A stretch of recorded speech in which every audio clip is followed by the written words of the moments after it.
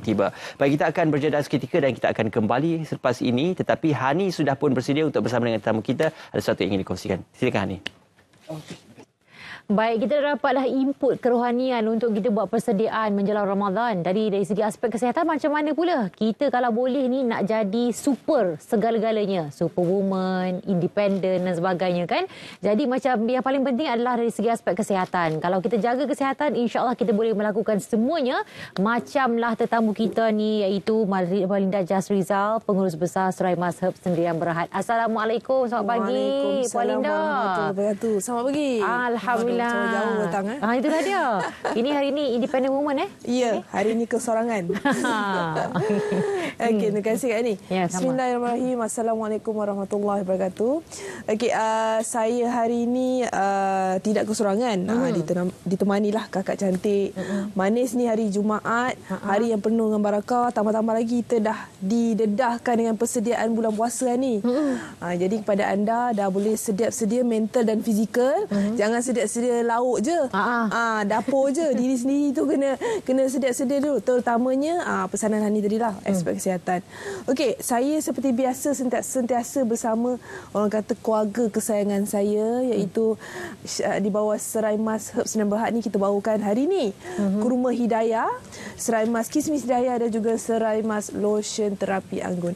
Apa istimewanya topik hari ni saya nak bawa kepada anda adalah tajuknya yeah. nak dipapah atau berjalan sendiri sendiri. Sebelum saya kupas tajuk ni Hani, hmm. saya nak tanya soalan cepu mas. Apa dia tu? Hari ni Apa Hani kita? datang uh, seorang-seorang uh, sendiri ke atau ditemani oh, suami? Ingatkan soalan apalah takut gitu. Okey, uh, selalu kebiasaannya kau pergi kerja memang sendirilah.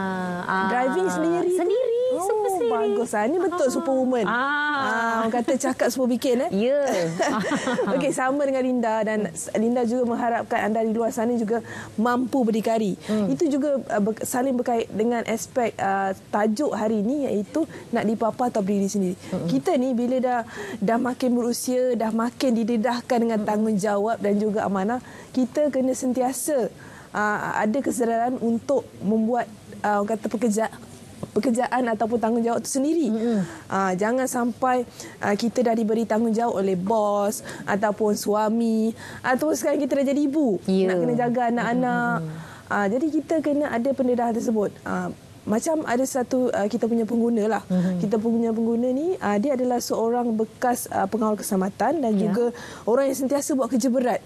Jadi bila menjangkau usia 59 tahun, mm-hmm. siapa tahu uh, kita tak tak pernah minta tapi yeah. di, di diuji dengan uh, dengan ujian mempunyai masalah kesihatan mm-hmm. di mana uh, beliau ada masalah kebas-kebas tangan tak mm. boleh melakukan aktiviti seharian seperti biasa terbatas sama sekali mm-hmm. di mana memerlukan orang lain uh, memerlukan orang lain untuk memapah beliau ke mana saja even untuk ke hadapan rumah untuk jalan-jalan ambil angin di luar rumah pun kena minta bantuan orang mm-hmm. tapi hanya kita kena kena fikir sampai bila. Hmm. Adakah perasaan itu, adakah situasi itu yang kita rasakan tak menyusahkan orang? Hakikatnya kita menyusahkan orang, kita nak biarkan sampai kita umur dah tua. Hmm. Ada anak, nak hmm. susahkan anak. Lepas tu kita yang dah dewasa macam ni pun nak susahkan mak lagi. Hmm. Nak susahkan ayah. So kita tak nak diri kita dibelenggu dengan perasaan macam tu. Jadi apa yang saya belajar hmm. daripada Encik Ramli ni adalah beliau mengambil langkah inisiatif hmm. ikhtiar. Hmm. Kalau orang boleh, kenapa aku tak boleh? Yeah. Ada bantuan depan mata, kenapa aku tak ambil peluang? Hmm. Ha, contohnya, apa yang ada depan mata saya sekarang ni adalah kurma hidayah. Hmm. Dan Alhamdulillah, bila kita dah didedah dengan syarikat Serai Mas ni, dah ada halal jakim, hmm. dah ada Kementerian Kesihatan Malaysia dan malah yang terkini kita ada pengiktirafan daripada Asia Pacific Health Super, uh, Super Health Brand. Hmm. Jadi, apa yang anda nak ragukan? Dengan hanya harga RM25.90 bagi bagi saya untuk anda bekalkan diri anda bukan sahaja sekarang tapi untuk bekalan masa bulan puasa nanti mm-hmm. sangat sangat sangat berbaloi. Yeah. Bukan untuk anda tapi untuk keluarga anda dan orang yang anda sayangi. Jadi saya nak bawa anda dulu tengok sendiri apa kongsian menarik Encik Ramli saya Encik Ramli ni yang buat saya rasa terinspirasi bila kita dah menghadapi masalah kesihatan, yeah. jangan kita terduduk tanpa apa-apa usaha. Yeah, Jom kita saksikan. Ha, nama Ramli bin Jalani. Ha, duduk Sungai Siput. Umur 59 tahun. Memang pakcik agak 3 tahun. Pakcik kena stroke. Tangan memang masa tu tak boleh gerak langsung. Macam ni tak boleh buat. Macam ni tak boleh. Dalam radio. Pakcik dengar pagi-pagi mana saya punya ubat. Dia punya perempuan tu bagi tahu. Uh, ni ada dekat atas meja. Depan. Depan dia. Ha, dia pun ha, minum ubat, ubat ni dia kata lancar badan. Pakcik dengar tu, eh betul ke tidak ke?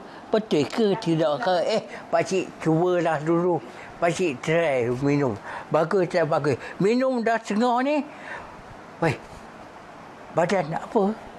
Ha? Ha? Ha? Ha? Eh, okey badan ni. Ha, try lagi. Try, try, try. Sampai habis. Habis, eh.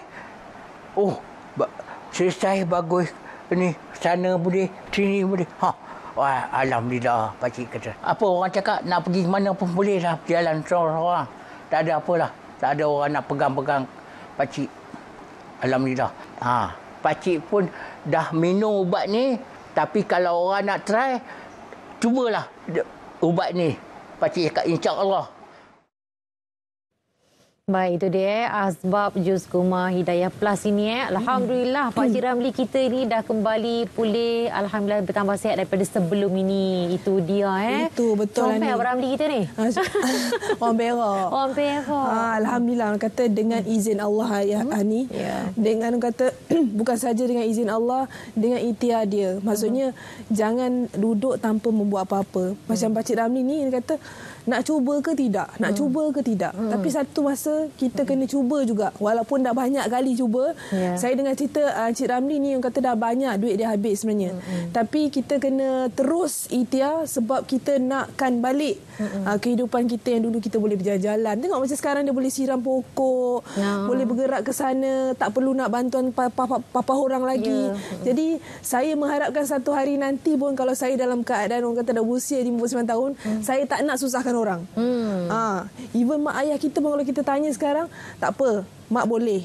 Tak apa, ayah boleh. Ha, itulah kita nakkan kalau kita nakkan akan datang inilah masanya kita orang kata ambil langkah keselamatan, ambil langkah berjaga-jaga, ambil langkah segera dengan hanya uh, mengamalkan pemakanan yang sihat, yang ada jaminan, yang bersih, yang halal, insya-Allah saya yakin uh, pastinya anda akan ada perubahan. Macam Cik Ramli ni dah tiga tahun dalam keadaan macam ni. Ya. Uh, bila mana dia mencuba dengan dalam dua botol saja dan nampakkan perubahan, alhamdulillah dia konsisten minum dan insya-Allah sebenarnya saya doakan sekiranya ada yang menonton, uh, ada yang menonton sekarang ni, Hmm. ada yang baru uh, ternampak saya di kaca TV, jangan putus asa. Ya. Tambah-tambah bulan Ramadan ni kalau kita bekalkan sekali dengan doa, insya-Allah Allah akan bantu kita buka jalan. Yang penting uh, macam saya saya suka cara Hani. Hani ni dia suka minum air banyak, dia suka makan makanan berhasiat dan sentiasa konsisten minum.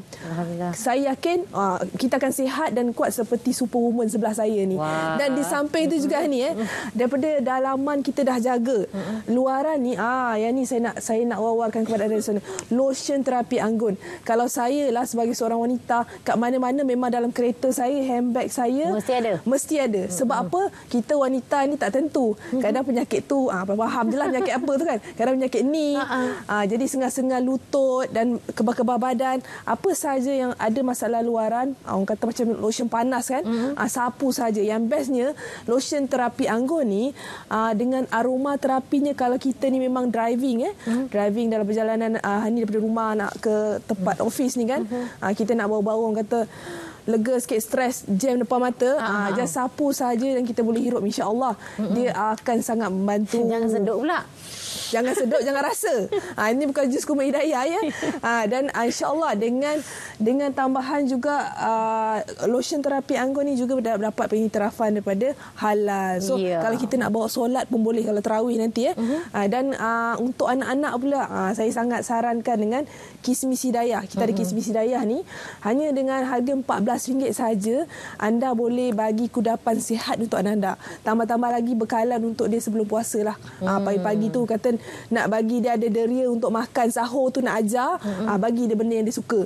KSMC Mani-Mani Masam. Ya. Dan insyaAllah kepada anda luar sana juga kalau Hani nak uh, nak tahu lagi perkembangan terkini. Uh, cerita pasal perkembangan terkini sekarang kita hari ni uh, bermula 26 hingga 28. Kita berada di booth SDSI satu daerah satu industri di MITC Melaka Okey. untuk dapatkan harga promosi. Untuk dapatkan harga promosi terus ke booth kami insya-Allah kami ada berada di sana dan perkongsian macam-macam perkongsian uh, info produk boleh didapati atau yang ada depan kas- mata TV sekarang ni uh, terus ke laman sesawang kami iaitu uh, www.seraimas.my atau yang sangat aktif dengan media sosial sekarang ni uh, just terus kepada Facebook dan Instagram kita Serai Mas HQ. Insya-Allah anda akan uh, dibantu dengan uh, produk rangkaian Serai Mas. Dan yang paling penting, Serai Mas Raja segala herba. Terima kasih banyak-banyak Puan Marinda Jaz Rizal, Pengurus Besar Serai Mas yang berehat bersama kita pada waktu ini. Dan selepas ini, pastinya kita akan insyaAllah ikhtiar lebih sihat. Uh, supaya